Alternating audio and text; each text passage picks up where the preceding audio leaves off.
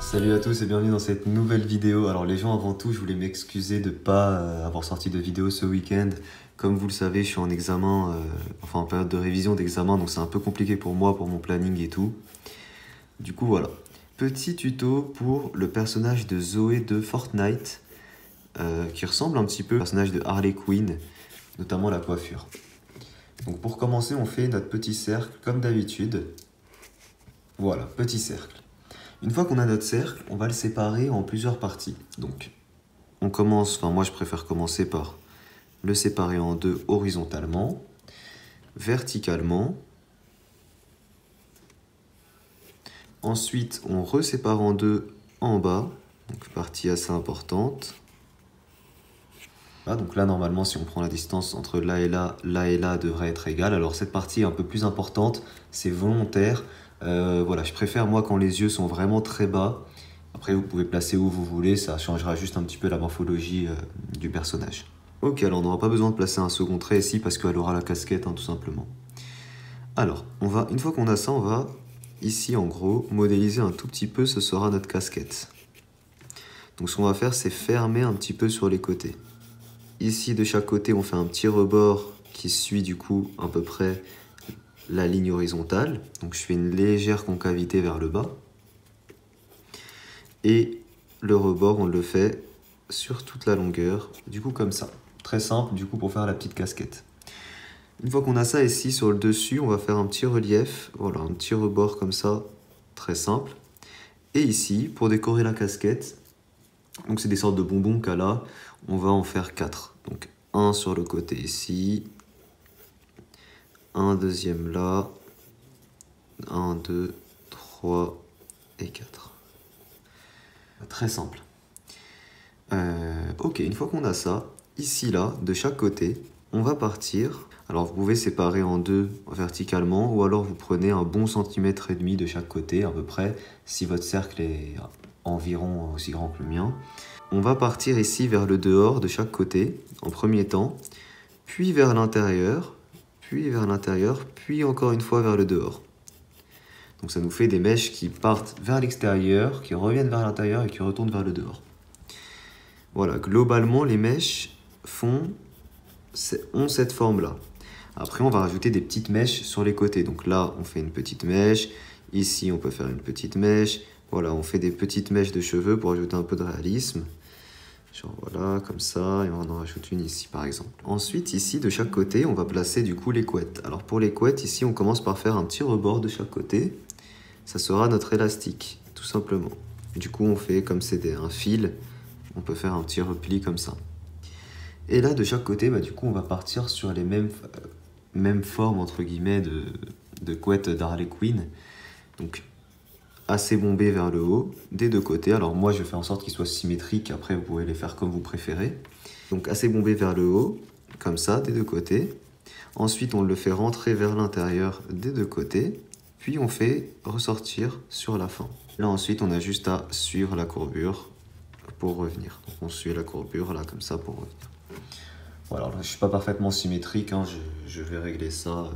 Voilà je retravaille légèrement dessus pour, euh, pour travailler un peu ça. Après, comme d'hab, je peux faire des petites mèches dessus. euh. Ensuite, on va, on va faire les détails un petit peu de, du, de la casquette. Alors pour ça, entre chaque euh, bonbon qu'on a fait, alors moi je vais les grandir un tout petit peu, parce qu'ils sont un peu petits. Et entre chaque bonbon, on va placer des petites vagues, comme ça. Des petites vagues comme ça, et dans ces vagues-là, on va placer des sortes de petites formes comme ça, comme des petites portes. Et au niveau de chaque bonbon, on va faire un petit trait qui remonte au niveau du centre en haut de la flèche.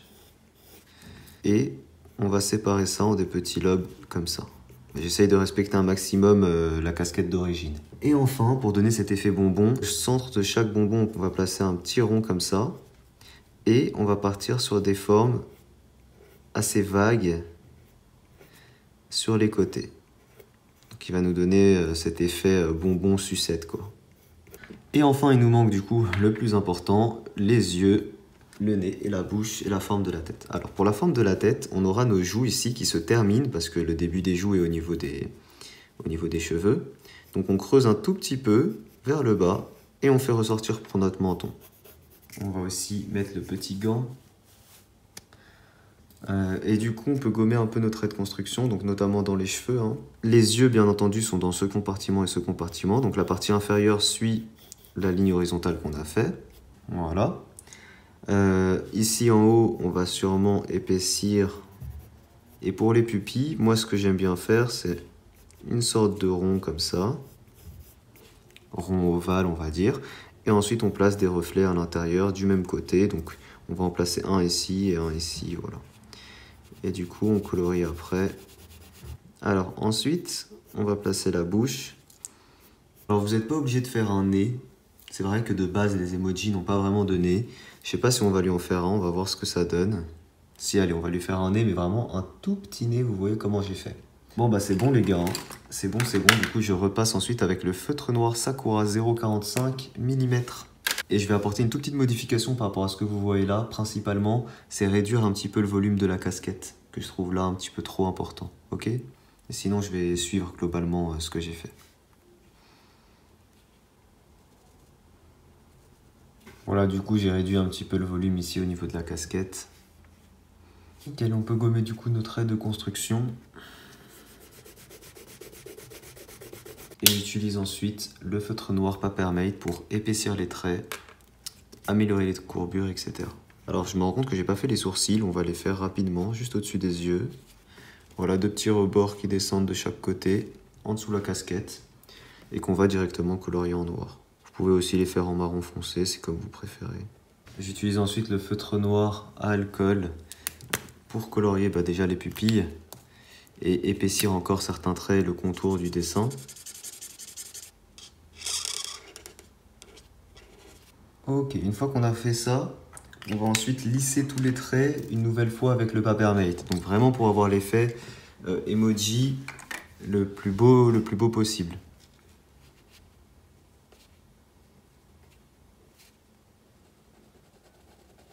Ok, une fois qu'on a ça, on va placer euh, des petits détails.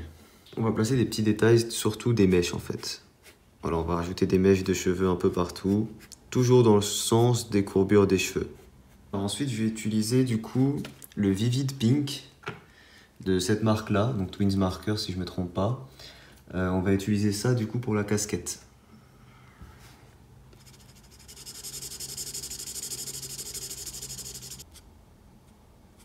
Ensuite, on va utiliser le Hot Pink des Pro Markers pour colorier toutes ces surfaces-là. Donc c'est un peu comme un rouge quoi. Voilà, on va également colorier les petites boules au centre. Ok, pour ces surfaces-là, là, on va utiliser le rose antique. Et on va également colorier ça avec le rose antique. Ensuite, j'utilise le brick brown pour ajouter un tout petit peu d'ombre. Certaines zones. Puis le potalo brown pour ajouter de l'ombre sur les surfaces roses. J'utilise le CG 0.5 pour ajouter un tout petit peu d'ombre gris sur les bonbons. Ok, on a quasiment fini la casquette. Il nous manque juste bah, cette partie que j'ai oublié de faire. Du coup, potalo brown aussi pour faire l'ombre. Ensuite, je vais utiliser le yellow green. Donc, euh, c'est un peu un vert jaune pour les cheveux. Donc, pareil, très belle couleur. Pareil, hein, les traces que vous voyez là derrière, c'est le pro marqueur qui a fuité sur la feuille d'en dessous. Mais c'est pas des traces qu'il y a sur la feuille où il y a le dessin. Ensuite, j'utilise le pat green pour ajouter un petit peu d'ombre. Donc au niveau des mèches et au niveau des contours. Ensuite, pour les yeux, je vais utiliser la couleur turquoise blue.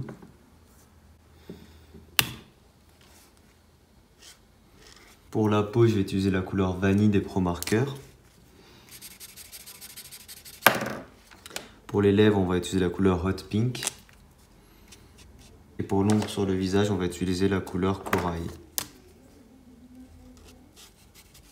Et voilà les gens, on a notre emoji Zoé de Fortnite Eh bien écoutez, je suis super content du résultat, mais vraiment, je vais vous montrer encore une fois le croquis que j'avais fait. Voilà le croquis que j'avais fait. Alors il est assez ressemblant, mais je le préfère largement là que là. Voilà.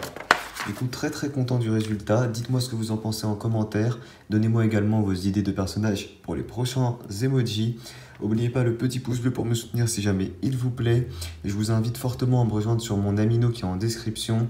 Les concours vont reprendre dans une semaine pour gagner mes dessins, donc n'hésitez pas. Et sur Snap et Instagram, c'est également en description. Merci à tous en tout cas d'avoir regardé la vidéo. Je vous dis à très vite pour un prochain tuto. Ciao tout le monde.